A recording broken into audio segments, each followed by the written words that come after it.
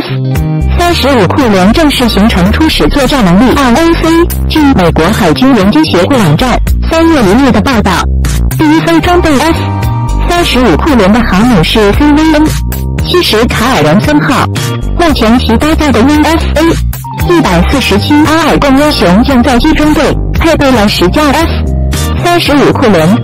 到二零二一年，这艘超级核动力航母将配备九十架 F 三十五库仑和直升机，然后加入第七舰队，部署到西太平洋地区，也就是中国的周边。二零二一年，卡尔文森号将满载 F 三十五库仑部署到中国周边。F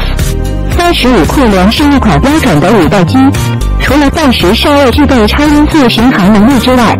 在隐身、超机动性和信息化作战能力上碾压一歼。十五为代表的第三代舰载机，特别是它装备包括 ANAPG 八十一有人相控阵雷达 AAT 三十七光电分布式孔径系统 AAT 四十光电瞄准系统在内的各种先进传感器，更是赋予了它远超三代机的战场态势感知能力，甚至比早期四代机 F 二十二还要强。所以，二零二一年，当卡尔文森号核动力航母买在 F 三十五库仑部署到西太平洋地区之后，必然会对我们形成极大的压力。F 三十五库仑在信息感知能力上碾压三代舰载机任何任雷尖。十五这种第三代舰载机能够对抗四代、五代舰载机的想法都是错误的。咱们不说拗口的术语，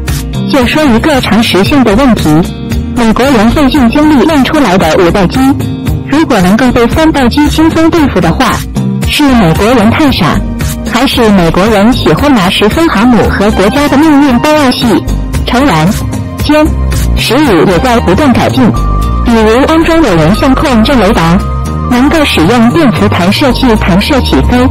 甚至出现了类似 A 幺八 G 咆哮者那样的电子战型号。但是三代机和四代机、五代机的差距，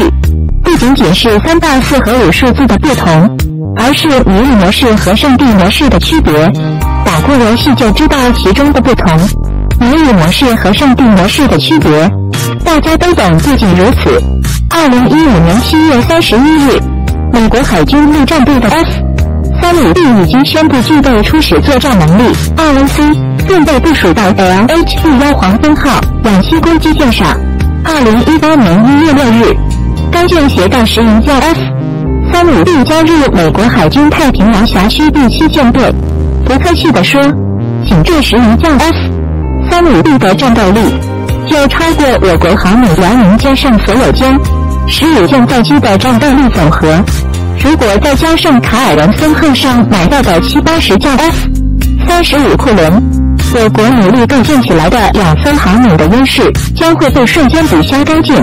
黄蜂号搭载十一架 F 三五 B，战斗力超过辽宁舰。正因为如此，我国必须加快建造四代机的研制速度。最近，又有传言称，我国将在 F C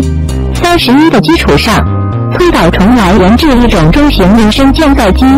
该机被命名为歼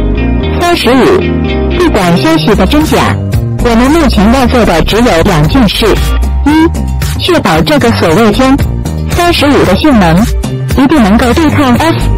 三十五，至少不能占劣势；其次，加快进度。对于今天的中国来说，四代舰载机这样的重点项目，钱不是问题，时间才是问题。